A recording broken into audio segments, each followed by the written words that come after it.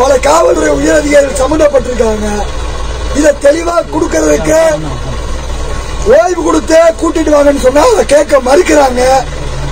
அதனால நீதிபதிகிட்ட அதை தெரிவிக்க போறோம்.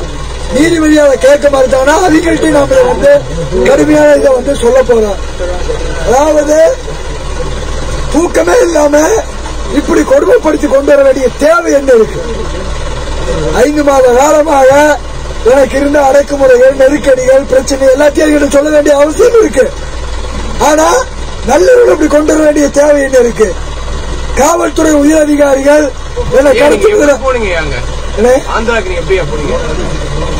காவல்துறை உயர் அதிகாரி கடத்த பத்தி எல்லாம் சொல்ல போறேன் அது சொல்றதுக்கு இப்படி நடுராத்திரி கூப்பிட்டு வரணுமா?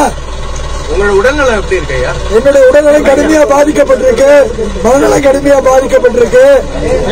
இவங்க எதையுமே அனுமதிக்க மறுக்கிறாங்க. நீதிபதிகள் பற்றியெல்லாம் கேட்கணும். பொறுப்பவங்களுக்கு இருக்கு. ஆழ்குணர் மனு போட்டிருக்காங்க. ஆழ்குணர் மனு போட்டிருக்காங்க. ஆழ்குணர் மனு போட்டிருக்காங்க. ஆனா அதை வந்து முறையான வகையில் விசாரிக்க இருக்கிறாங்க எல்லாமே பண்றாங்க. இப்ப பல வகையான வழக்குகள் போடப்பட சொல்றாங்க. என்ன செய்யறாங்க என்ன பண்றாங்க இந்த நாட்டுல என்ன நிர்வாகம் நடக்குது? மேல எதனால இப்படி அதாவது முழுக்க முழுக்க ஐஜி சைதாஸ் குமார் யாதவ் டிஐஜி கபில்குமார் சரத்கர் இவங்க எல்லாம் வந்து என்ன கருத்துல தொடர்பு இருக்குன்னு கருதுறேன் நானு. அதை முறையான வகையில இவங்க கேட்கணும்.